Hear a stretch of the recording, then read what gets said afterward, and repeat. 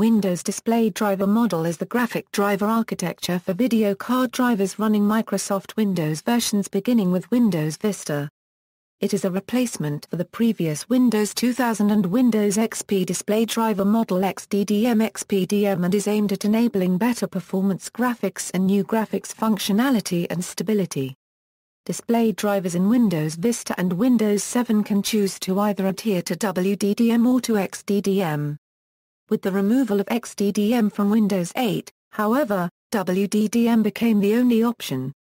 WDDM provides the functionality required to render the desktop and applications using Desktop Window Manager, a compositing window manager running on top of Direct3D. It also supports new DXGI interfaces required for basic device management and creation. The WDDM specification requires at least Direct3D 9-capable video card and the display driver must implement the device driver interfaces for the Direct3D 9X runtime in order to run legacy Direct3D applications. It may optionally implement runtime interfaces for Direct3D 10/10.1 and higher. Features enabled by the WDDM WDDM drivers enable new areas of functionality which were not uniformly provided by earlier display driver models. These include equals virtualized video memory equals, in the context of graphics, virtualization means that individual processes cannot see the memory of adjacent processes even by means of insertion of forged commands in the command stream. WDDM drivers allow video memory to be virtualized and video data to be paged out of video memory into system RAM. In case the video memory available turns out to be insufficient to store all the video data and textures, currently unused data is moved out to system RAM or to the disk. When the swapped out data is needed, it is fetched back. Virtualization could be supported on previous driver models to some extent, but was the responsibility of the driver, instead of being handled at the runtime level equals scheduling equals, the runtime handles scheduling of concurrent graphics contexts. Each list of commands is put in a queue for execution by the GPU, and it can be preempted by the runtime if a more critical task arrives and if it has not begun execution.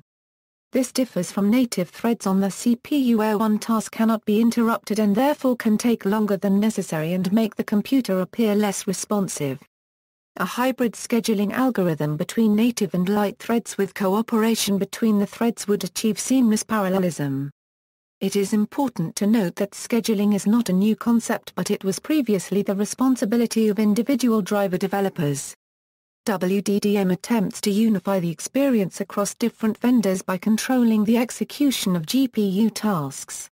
Equals cross-process sharing of Direct3D surfaces equals, a direct 3D graphics surface is the memory area that contains information about the textured meshes used for rendering a 2D or 3D scene.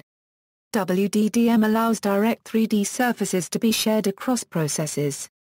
Thus, an application can incorporate a mesh created by another application into the scene it is rendering.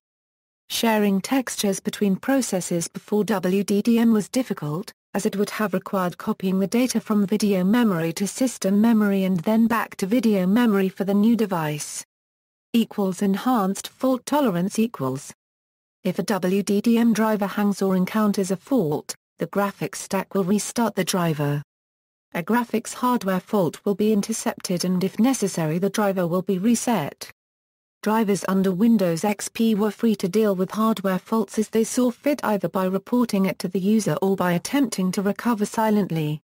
With a WDDM driver, all hardware faults cause the driver to be reset and the user will be notified by a pop-up. This unifies the behavior across vendors.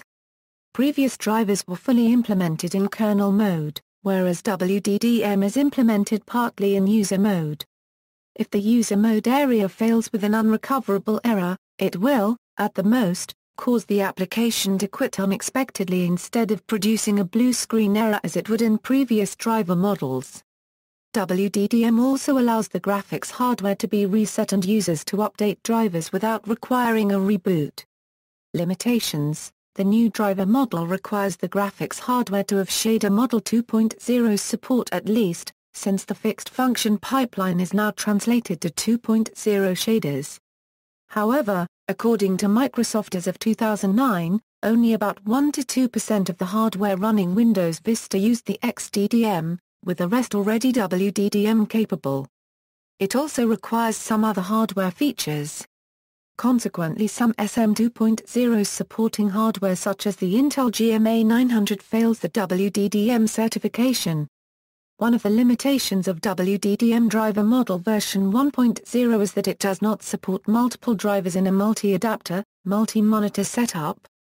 If a multi-monitor system has more than one graphics adapter powering the monitors, both the adapters must use the same WDDM driver.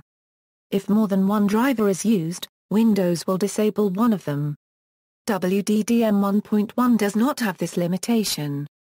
WDDM 1.0-1.1 does not allow some modes that were previously handled by the driver such as spanning mode although dual view is still available. Equals need for a new display driver model equals, one of the chief scenarios the Windows display driver model enables is the desktop window manager.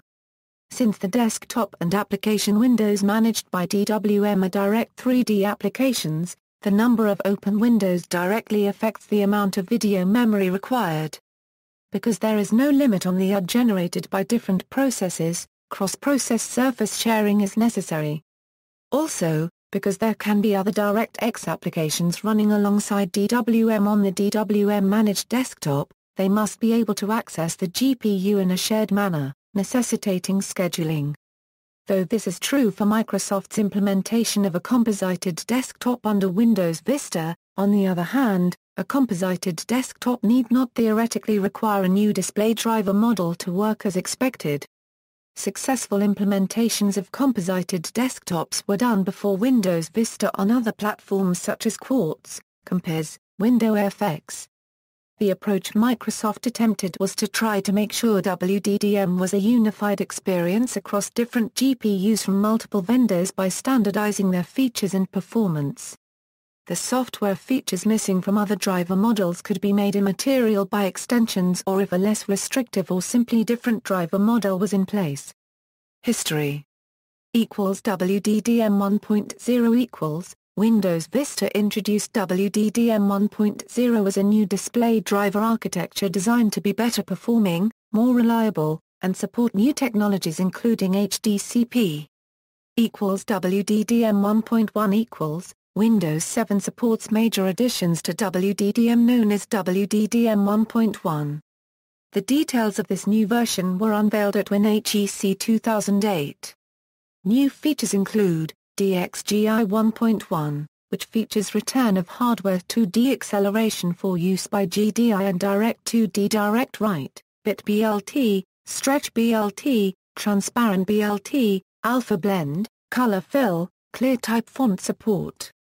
Direct 3D 11 Device Driver Interface, DXVA HDDDI, Hardware Video Overlay DDI, Optional AES-128 Encryption, optional decoding of encrypted video content, support multiple drivers in a multi-adapter and multi-monitor setup, hardware acceleration of GDI and Direct 2D Direct Write operations helps reduce memory footprint in Windows 7, because DWM compositing engine no longer needs to keep a system memory copy of all surfaces used by GDI GDI+, as in Windows Vista. DXGI 1.1, Direct 3D 11, Direct2D, and DirectWrite were made available with Windows Vista Platform Update. However GDI GDI Plus in Vista continues to rely on software rendering and the desktop window manager continues to use Direct3D 9X. WDDM 1.1 drivers are backward compatible with WDDM 1.0 specification, both 1.0 and 1.1 drivers can be used in Windows Vista with or without the platform update. WDDM 1.2 equals, Windows 8 includes WDDM 1.2 and DXGI 1.2. New features were first previewed at the Windows Build 2011 conference and include performance improvements as well as support for stereoscopic 3D rendering and video playback. Other major features include preemptive multitasking of the GPU with finer granularity, reduced memory footprint, improved resource sharing, and faster timeout detection and recovery. 16-bit color surface formats are mandatory in Windows 8, and Direct3D 11 video supports YUV444420-411 video formats with 8, 10, and 16-bit precision, as well as 4 and 8-bit palletized formats. WDDM 1.0-1.1 only allows rudimentary task scheduling using batch queue granularity. Improvements to multitasking, as well as fast context switching and support for virtual memory, were initially expected in versions tentatively named WDDM 2.0 and WDDM 2.1, which were announced at WinHEC 2006. Equals WDDM 1.3 equals Windows 8.1 includes WDDM 1.3 and DXGI 1.3. New additions include the ability to trim DXGI adapter memory usage, multi-plane overlays, overlapping swap chains and swap chain scaling, select back buffer subregion for swap chain and lower latency swap chain presentation. Driver feature additions include wireless displays, YUV format ranges, cross-adapter resources and GPU engine enumeration capabilities. Equals WDDM 2.0 equals, Windows 10 includes WDDM 2.0, which is designed to dramatically reduce workload on the kernel mode driver for GPUs that support virtual memory addressing, to allow multi-threading parallelism in the user mode driver and result in lower CPU utilization. Direct3D 12 API, announced at Build 2014, will require WDDM 2.0. The new API will do away with automatic resource management and pipeline management tasks and allow developers to take full low-level control of adapter memory and rendering states. References